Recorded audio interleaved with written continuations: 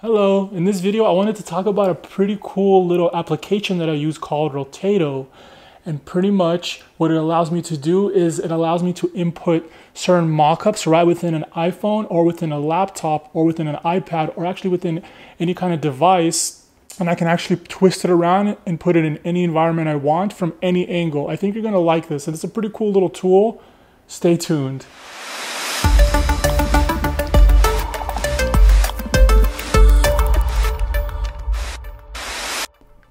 So I'm pretty much here on the Rotato website. You can pretty much go here and this would be actually where you would download the app itself. You would just here hit here, try it today, and that's how you would download it. But let's just go down here so I could show you some of the mocks. So see it animates in 4K and it kind of creates these kind of mockups. You literally can, can create these from scratch from any angle and it's showing you kind of examples here. This is kind of what it looks like on an iPhone. This is something that might look like something more like an iPad. Um, and, and kind of you can see like all the different companies that uses Google, Airbnb, Uber. And you can see what it looks like in um, on a laptop potentially as well. You can see what it looks like here potentially on an Apple Watch. When you open up the app, you'll kind of have this iPhone mock and see how you can rotate the screen in any direction. You can see this is kind of more of the older, the old, uh, older iPhone. But the cool thing is I literally can put this in any angle. So I, right here on the right side where it has change devices, I can come here to change device and I have these different devices to choose from. Some of them you might not be able to see exactly. Let me move the screen a little bit so you could see here. So you could see all these different devices that you can pretty much use as an example. So let's try a couple so I could show you. So let's say you want to use like a laptop, for example, this MacBook 16 inch. You can choose this device and you can put this thing in literally in any angle. It's really, really cool. Let's try another device. Let's actually try three iPhones at once. You could put these, so you can kind of animate. I'm just moving my mouse around and that's kind of how I'm animating this thing. You could see here that if I rotate it over, you literally have the back of the items as well. And, and notice how you have these subtle reflections. So that you can get to by going to lens. And in here you could kind of control the type of reflections you have. I'm not going to get too much into that, but that's something you could experiment with potentially. Going back to the to the different looks of different devices, I'm going to choose an iPhone 11 Pro as an example. So I'll actually import a screen and show you what that would look like when you're actually importing in a screen. Opening up Figma over here, you see that I have the screen. This is actually a little app that I'm working on now and I'll get more into that in some future videos. But for now, let's just talk about this right screen. So I can take this right screen and export it out. And this is, I'm using Figma, so I'm just hitting export and exporting the screen out and I already have it exported. After I have the screen exported out, I can just come over here and take that screen and just drag it right into here and you can see it just put in that screen from directly from Figma. And you don't have to use Figma. I, mean, I just happen to be using Figma. You can use a sketch or Photoshop or any screenshot as long as the proportions are correct. You just drag it in. And now you can see I'm moving this thing around. And I could export this file from any of these angles, which is really, really powerful. Something else that I like to do, notice how it's like a silver, kind of a silver iPhone. I like to come over here on the backgrounds and I like to you know, you could experiment with different backgrounds. I usually like to have that transparent. So when you export that out, you can put it on any background you want.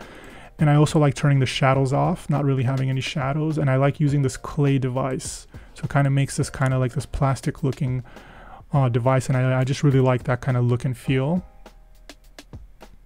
And then after I have that ready, what I could do if I want to export this file out, I could just come over here and hit snapshot and it takes that snapshot and I could hit here and just hit export PNG and then it pretty much exports that file out. Something else that's really spectacular with this little application is that you can actually create animations and export them out as video.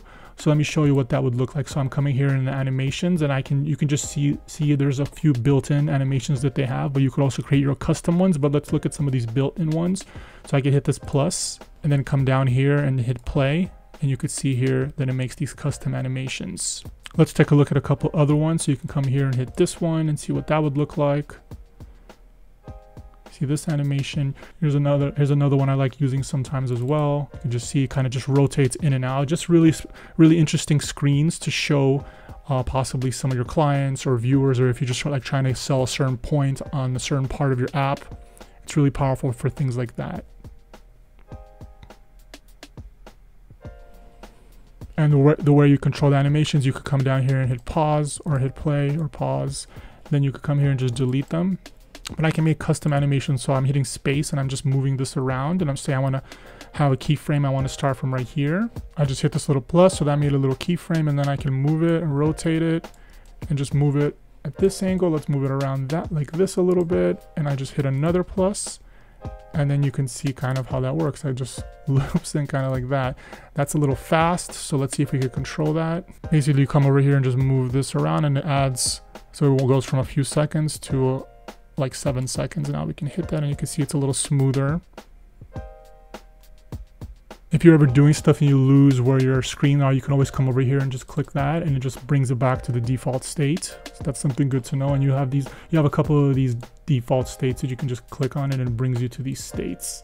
And in real life situations, the way I really like using this kind of stuff is like, say I have a page like this and it's pretty much like a like a hero section of a page and I want to put uh, some content in there. So I would come here and export this out by going to snapshot and just I can literally can just take this and just drag it right into my Figma or any software that you like using and you could pretty much make it the size that you want and the angle you have it at the at the right angle you would obviously experiment with different angles and kind of you're able to place that where you want also I might come to our original design I might take something like this and might export this piece out as well then I would come back to Rotato and choose change device and choose like a MacBook Pro, the 16 inch one, which is pretty cool looking. I would take that and I would take the screenshot we just made and I could just drag it right in there. And now we have an example of what this what our app product would look like in real time on a potential laptop at any angle we want. So then say we like this angle, I could do snapshot the same way we did the phone. Actually, let's get rid of the shadow. I'm gonna hit shadow, so now we have no shadows. I'm gonna hit snapshot and then I'm, and I could just take this file and just drag it right into our Figma over here. And then I can just size it correctly the way I want. Obviously, I would experiment a little more with these angles because I want to make sure that the proportions are good. So I would just drag it around, kind of move things around to get that right to the way I like it. And the proportions are not perfect, but you get the idea. It's something you could experiment with. And the, the main power of this is just that you literally can take any of these devices and have them at any, any angle you want and just have them kind of just looking the direction that you want. And also you can have those little animations and kind of moving things around and doing all that stuff could be look really, really cool for, for intro videos or demonstrations. I also wanted to mention that you can actually hook up your phone to, to here and you hit this little record and while your phone is connected, you can actually prototype and it will record exactly what's on your phone and then you can move the video around in proportion. This is just an example of a video that I just did right now, a screenshot on my phone and you could see that I can literally record screenshots and I'm able to just drag those in and it'll kind of shows them as examples right directly on my phone and I can export this video out and then put it anywhere I want. So this is a quick example of just a video screenshot I just took and recorded right directly on my phone and added these custom animations to just show you what this thing is uh, really, really capable of. And if I want to render this video out, I could just come here, render movie. Lastly, I did want to mention that although I love this app very much, it is a little bit buggy sometimes, but I'm okay with those bugs because there's not really anything else like this, this powerful to be able to accomplish this kind of stuff. And if you are tired of kind of seeing the same angles of different devices, uh, then this is definitely the good thing for you to try out. It, it's not a free app. I think it costs like around $50, something like that. But you definitely can try it for free. I think they include a watermark when it's not a paid app. I'm not 100% sure.